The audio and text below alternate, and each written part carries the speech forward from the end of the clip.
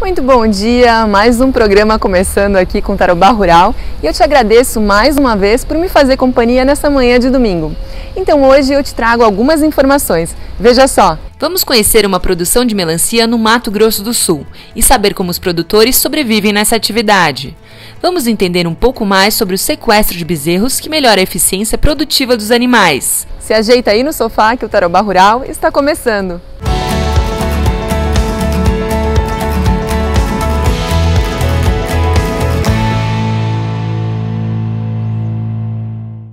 Brasil é o quarto maior produtor de melancia e você vê agora uma matéria especial que eu fui até o Mato Grosso do Sul conferir um pouquinho dessa linda produção. Dados da Organização das Nações Unidas para Agricultura e Alimentação mostram que China, Irã, Turquia e Brasil são os maiores produtores mundiais de melancia.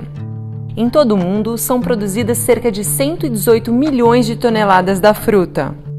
A produção mundial de melancia tem apresentado um crescimento contínuo, sendo que o Brasil é considerado o quarto maior produtor mundial. Ocupando o primeiro lugar se encontra a China, seguido por Turquia e Irã, que são responsáveis por aproximadamente 75% da produção mundial de melancia. Renato e Edivaldo Penasso plantam aproximadamente 60 alqueires de melancia no município de Eldorado, maior produtor de melancia do estado do Mato Grosso do Sul. Mas nem tudo é um mar de flores para os agricultores. Para quem pensa que a vida do produtor rural é só alegria, está muito enganado. O produtor, além de buscar o melhor preço para o seu negócio, ainda tem de lidar com adversidades climáticas sempre inesperadas, vindas do céu. É, nós somos produtor daqui de melancia na região do Eldorado, Mato Grosso do Sul, e tivemos um, uma fatalidade né, na, nossa, na nossa agricultura aqui, na nossa produção. 21 alqueires de melancia, totalizando com a área do meu tio de lado aqui com 30 alqueires.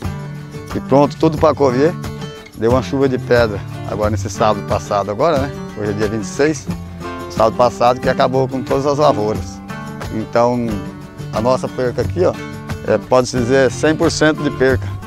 Tudo fruto que foi atingido na pedra aqui, ele não tem mais comércio, entendeu? Você vai vender para qualquer região que você vender, ele vai ser retornado, ele não tem durabilidade mais, não tem qualidade no fruto.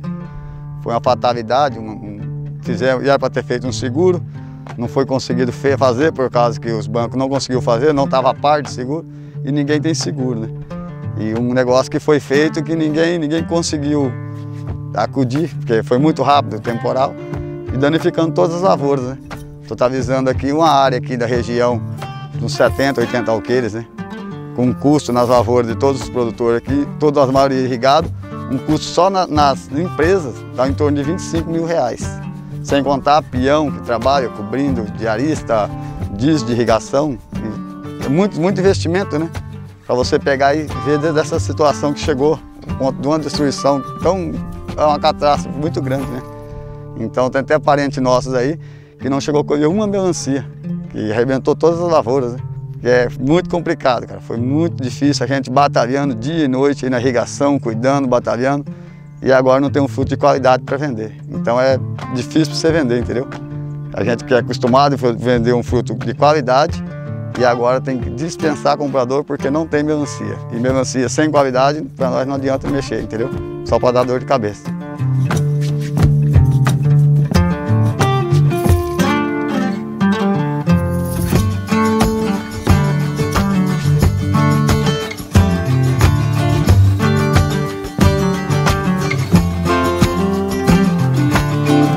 Então essas melancias que vocês estão vendo aqui, ó, amareladas, essas aqui eles perderam tudo. Foi a chuva que deu aqui, com muito vento, com muito granizo. Então as melancias com a pedra perde o valor comercial. Então não tem valor nenhum. Apesar da, da despesa, que é, que é sempre 25 mil reais por alqueire, fica para você tirar uma melancia dessa com adubação, com calcário, com irrigação, que eles têm irrigação também aqui. Então, seis meses trabalhando, para agora, por causa de 10, 20, 30 minutos, perderam a lavoura todinha. Então eu estou aqui, triste aqui com meus amigos aqui, desse trabalho que eles fizeram e essa lavoura agora está totalmente perdida. Então eu quero solidarizar com eles, meus amigos aí, de muitos anos, trabalhando, já plantaram na minha fazenda também, durante oito anos. Pessoas trabalhadoras, pessoas honestas, e infelizmente a lavoura está toda perdida.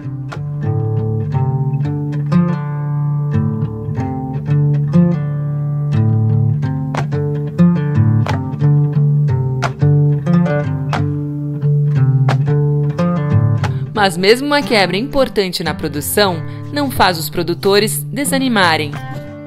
Estamos aqui na lavoura de melancia, como vocês estão vendo, os meninos estão carregando ali. Graças a Deus passou um, uns tempos aí nas, nas, outras áreas dos meus primos.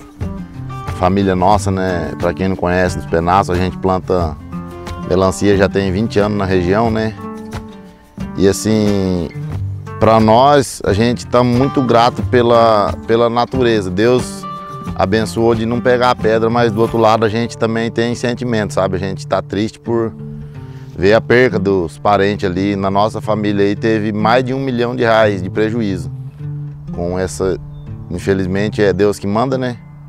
E aí estamos aí colhendo a melancia, graças a Deus não pegou.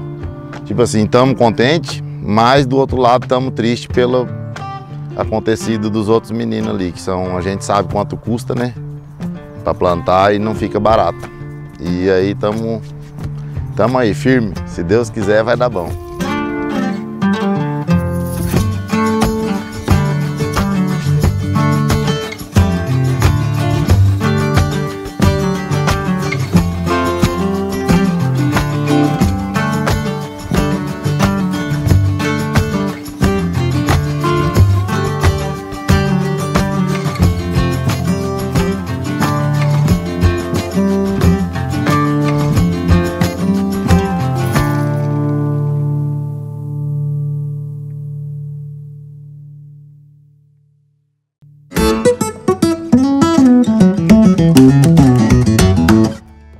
Trigo fechou essa semana em Londrina, Maringá e em Campo Mourão a R$ 88,00 a saca. O quilo do suíno fechou essa semana em Guarapuava a R$ 7,00, em Maringá a R$ 7,40 e em Campo Mourão a R$ 6,30. A arroba da vaca fechou essa semana em Londrina e Maringá a R$ 290,00 e em Campo Mourão a R$ 310.